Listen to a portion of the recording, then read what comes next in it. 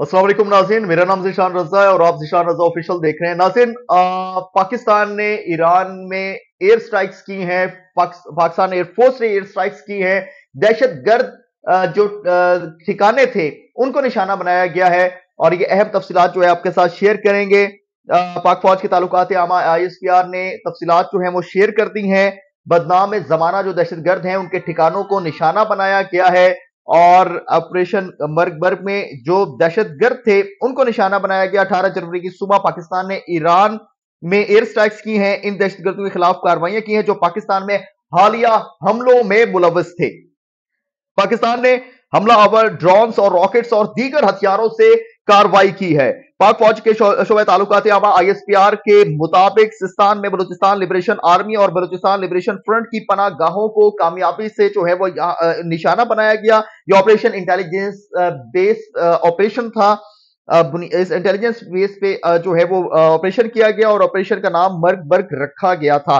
मर्ग बर्ग क्यों रखा गया था? मर्ग बर्ग का क्या मतलब है? इस पर भी बात करेंगे। आपको सबसे पहले बताते हैं कि दहशत गर्दों के जो ठिकाने थे जो जगह दहशतगर्द इस्तेमाल करते थे, वहाँ निशाना बनाया गया है और पाकिस्तान की मुसल्ह अफवाज दहशतगर्दी की कार्रवाइयों के खिलाफ पाकिस्तानी शहरियों की हिफाजत को यकीनी बनाने के लिए मुस्तकिल तैयार है। शोबे तालुकात तालुकात आमा के मुताबिक जो है वो पाक फौज के कहना है कि हमारा अजम है कि पाकिस्तान की इलाकी हदूद और खुद मुख्तारी को हर सूरत में महफूज बनाएँगे।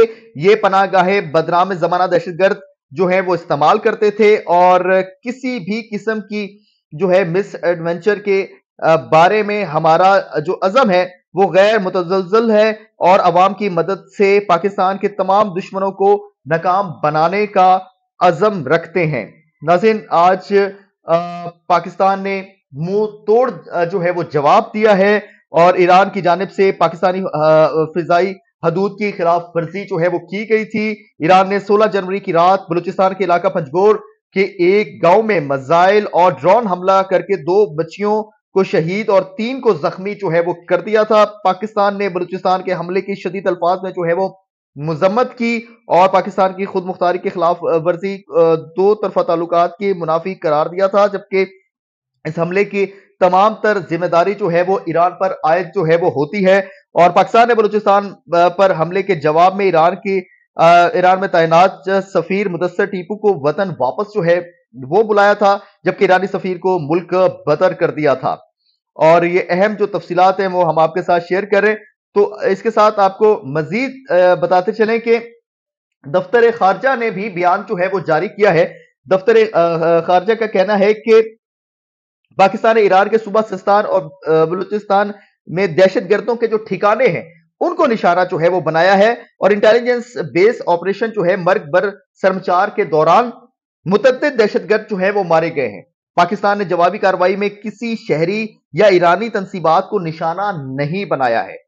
पाकिस्तान ने बलोच, अलहदगी, पसंदों की मौजूदगी और सरगर्मियों के ठोस शवाहद जो हैं वो ईरान के साथ शेयर किए और हमारी दफ्तर खर्चा कहना है कि हमारे संजीदा तहफात पर अमल ना होने की वजह से नाम निहाज शर्मचार बेगुना पाकिस्तानियों का खून बहाते रहे और आज सुबह दहशत गर्दों के खिलाफ कार्रवाई की गई और मुसदका इंटेलिजेंस जो मालूम थी, उनकी बुनियाद पर यह ऑपरेशन जो है वो किया गया।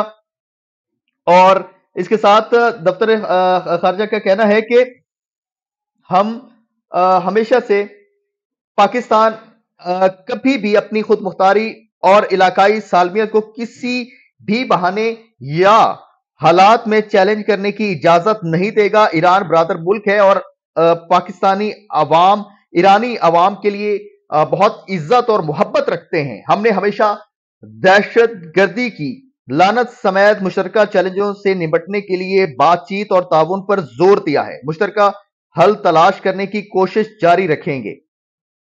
दफ्तर खाजा कहना है कि हम हमेशा से बातचीत करते रहे। हमने जो आ, आ, उन इलाकों में ईरान के जहाँ पर दहशतगर्द मौजूद थे उनकी जो मालूम थी इंटेलिजेंस बेस मालूम शेयर की लेकिन कोई इस पर आ, इसका हल जो है वो ना किया गया। आ, जिस पर आज आ, जो है वो कार्रवाई की गई है। ईरान ने एक रोज कबल पाकिस्तानी सरहदी हदूद के खिलाफ वर्जी करते हुए मजाइल हमला किया था। जिसके नतीजे में दो बच्चे जो हैं वो जहाँ बहक हो गए थे, और ये अहम तफसीलात हैं जो आईएसपीआर की जानब से जारी की गई हैं। आईएसपीआर ने ये मालूम जारी की हैं जो हम आपके साथ जो है वो शेयर कर रहे हैं।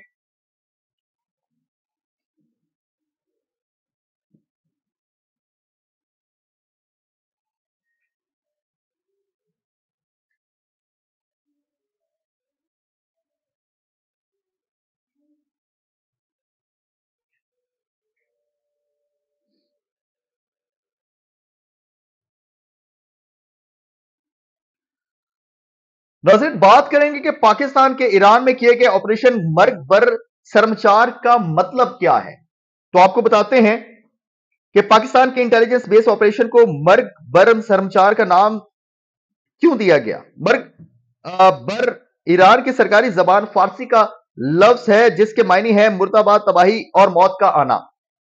जबकि शर्मचार बलोची लफ्ज है और जिसके मायने है सर कुर्बान करने वाला या जान इसार करने वाला, और ये बलोच जो शिद्दत पसंद हैं, ये अपने लिए इस्तेमाल करते हैं। इस इंटेलिजेंस ऑपरेशन का नाम ऑपरेशन मर्ग बर सरमचार रखा गया, जिसके मायने सरमचारों की मौत है। ईरान में मौजूद दहशतगर्द जो है, वो खुद को सरमचार कहलवाते हैं और इसके अलावा वो पाकिस्तान के सूबा बलूचिस्तान में भी कई अलहदगी पसंद शिद्दत पसंदों के सरमचार को कहा जाता है और पाकिस्तान ने जुमेरात की सुबह यानी आज ईरान के सूबे सिस्तान में दहशतगर्द की दहशतगर्दों की जो मखसूस पनागाहें थी, उनको निशाना बनाया उस हवाले से बताया गया है कि सिस्तान में इंटेलिजेंस बेस ऑपरेशन जो है, वो किया गया है और मुतद इस ऑपरेशन में दहशतगर्द जो है वो मारे गए हैं। ये अहम तफसीलात थी जो मैंने आपके साथ जो है वो शेयर की हैं और आज पाक फौज और पाकिस्तान एयरफोर्स ने मुंहतोड़ जवाब दिया है, दहशतगर्द जो है, उनके जो ठिकाने हैं, उन्हें निशाना जो है वो बनाया गया है। तो नाजिन वीडियो से मुतलिक जो है वो अपनी राय का इजहार करना मत भूलिएगा। चैनल को सब्सक्राइब करें, फेसबुक पे हमें फॉलो करें। फिल वक्त के लिए इतना ही। बहुत शुक्रिया। अल्लाह हाफिज। पाकिस्तान, जिंदाबाद।